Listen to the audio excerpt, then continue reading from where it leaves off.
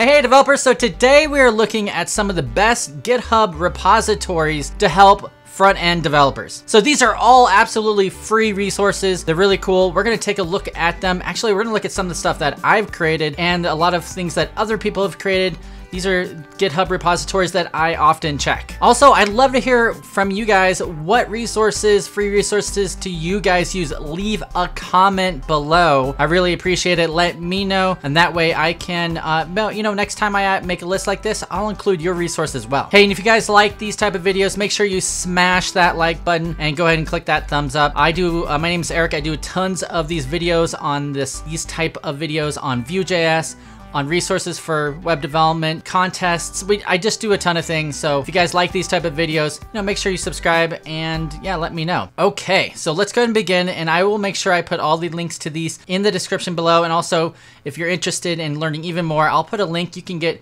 my free cheat sheet that will have a free cheat sheet for Vue.js. I'll leave that in the link in the description below too.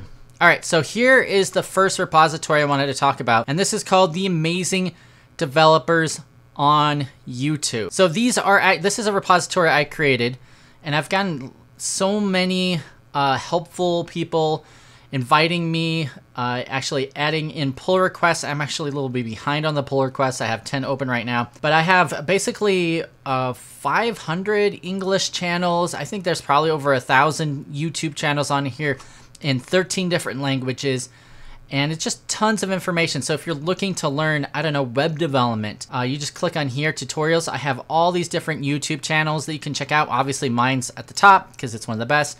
We got Free Code Camp, uh, Traversy Media.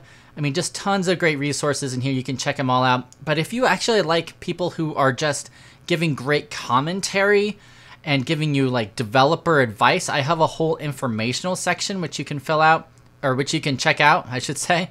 And then also we have live coding channels, game development channels, software entertainment, competitive programming, and then some channels that are up and coming that they're a little bit smaller, but they're getting a lot of momentum every day. And if you, uh, and then also channels that aren't a lot around anymore, but you can still get some great information out of them. And of course we have Russian, Hindi, just tons of different languages. Yeah, check this out.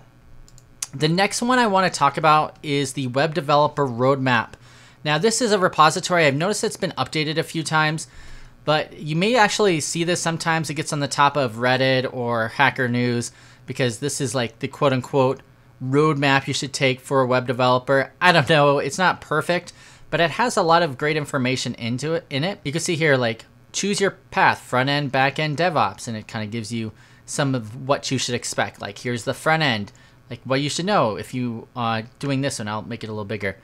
Like here's the internet. What is the internet? How does the internet work? What is HTTP, DNS, HTML, CSS, JavaScript, version control systems like GitHub, GitLab, uh, like Git, SVN, and then like different services, NPM and Yarn, CSS architecture.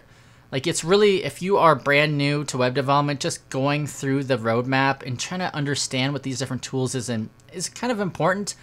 Obviously, you can't know everything, so don't get discouraged by looking at this. But, you know, it's something that I, I like to look over every now and then. Pick a framework. Hey, Vue.js, React. Um, I like how React is in yellow and Angular and Vue are not as highlighted, almost like they're not as, you know, good. But, hey, you know, Vue just as good as React. Trust me. And Angular, too. Web components. Yeah, look, he even talks about CSS frameworks and testing libraries like Jest and Cypress and Enzyme, React Strap, uh, Material UI, Chakra, Bootstrap. Talks about progressive web apps, server-side rendering. It looks like this is very React focused in some ways. I don't know. Oh, if you click on it, you get, uh, get, get a bigger picture of it. So yeah, this is kind of a neat uh, way of, of looking at uh, web development. So I'll leave a link to that in the description below. So another one, another repository. A lot of people like this free code camp repository, where free code camp in general is a 503c nonprofit or 501c nonprofit in the United States. And so they have certifications, learning platforms, and if you go to their GitHub, you can kind of get the idea of everything that they offer. You can also go to their website, but if you click on it, it kind of redirects you to the website, and this is some of the lessons. I really like this one. This is called Awesome. So this is this is the like the granddaddy of all the awesome type of GitHub repositories out there. So this is like the one that links to all the other awesome ones. So you could pretty much get anything you ever wanted. So like if you were looking up Vue, here's Vue. You click on it and this will bring you to the awesome Vue resource. And this just uh, essentially has links to a lot of free resources. So if I was learning learning Vue, I might check this out. Hey, look, books. Here's a ton of different books. I believe mine's right here. Yep, mine Vue.js in Action right near the top. It's a really great book. But you can see, wow, like since then, a ton of books have come out, which is really cool. But yeah, you can, this just a, a, a ton of different resources on different frameworks, and then it links to different repositories. So check that out. Another really good one is this one. It's called the Spellbook of Modern Web Dev. So it's like a, a thesaurus and taxonomy of modern JavaScript. So this document originated from a bunch of mostly common use links and learning resources. When I'm doing this document now, is trying to provide the complete view angle of modern web app, app or page development ruled by JavaScript reflect, reflective of technological advances. So it's like it's kind of a thesaurus to figure out exactly what everything is, but you can see here like what is the open web platform? What's HTML5? What's the modern JavaScript? Node.js. So it's all in here. Uh, a lot of cool things. If you're trying to learn like server side networking, you can say, well, click here. Here's network. Here's an overview of what HTTP is. Kind of giving you definitions of these of these terms that you may never have heard of. It's very helpful. Now let's take a look at Florin. Actually, I know Florin is a great guy. He's a huge Twitter following.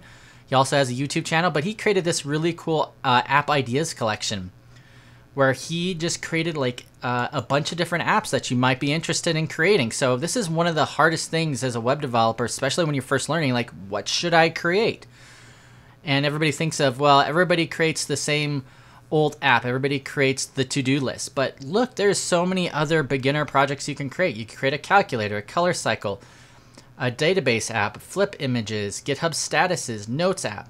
But maybe you want something more difficult, calculator CLI, drawing apps, GitHub profiles, meme generators, or maybe an advanced project like creating a calendar, an Instagram clone. You also notice when you get to these advanced courses, a lot of clones. Everybody's making Zoom clones, Instagram clones, Twitter clones. Those are really good, more advanced projects. So it's really cool. Uh, this is really well done. I like how he put this all together. It has 27 million stars on it, tw uh, 27,000 stars. So that's really cool. It's a good repository to check out. Uh, here's another one. Awesome stock resources. So, you know, one thing I'm always looking for is like, cool, I want to grab some SVG graphics. Like, where can I grit, where can I grab it? I think a lot of people think of Unsplash, but there's so many others out there. So you could just like, hey, how do I want, I want to grab some uh, illustrations. Cool, so here's Biodiversity Heritage Library, British Library, Old Book Illustrations, Undraw. If you ever seen, um, here, if you go to Undraw, I like this. This is like this new style. You see this everywhere. These like faceless images. This is like a new style, but a lot of people just download this from Undraw. Uh, but there's like 10 other sites just like Undraw out there, I, I was noticing. Anyways, this is a really cool place. You can grab some free things, uh, free resources to download images and stuff from. Another great one is the front end performance checklist. So I don't know if you've ever been in an environment where you need to have your website fast. And so this gives you some ideas of how to uh, do some page tests. Here's some page tests, like obviously Google Page Speed Insights is one thing that everybody uses. Also built-in Lighthouse testing, testing is another one. But there's just a ton of different places you can go to just do some testing and this has links to all of them. Here's an, an interesting one. It's called Go Abstract.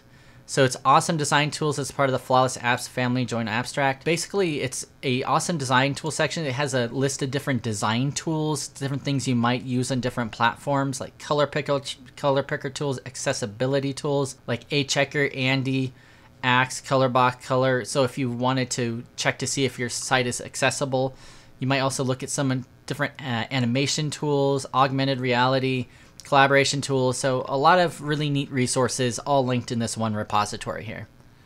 And finally, I'll give a shout out. Uh, I was inspired a little bit by this repository, this best GitHub repositories. It was number one on dev.to a few weeks ago. And, uh, you know, I thought maybe I would add a few of those to my resources. And actually, I have added quite a few that weren't on this list. But I'll give that guy a shout out, Jatin, Jatin Rao, and I'll include a link to that in the description below. Cool. So I hope you guys enjoyed this. I know you guys like me doing these lists of different repositories and cool resources. I will be doing some more later this week, some some more Vue uh, tutorials. If you guys like those, leave a comment below as well. I appreciate it. Thanks. Take care.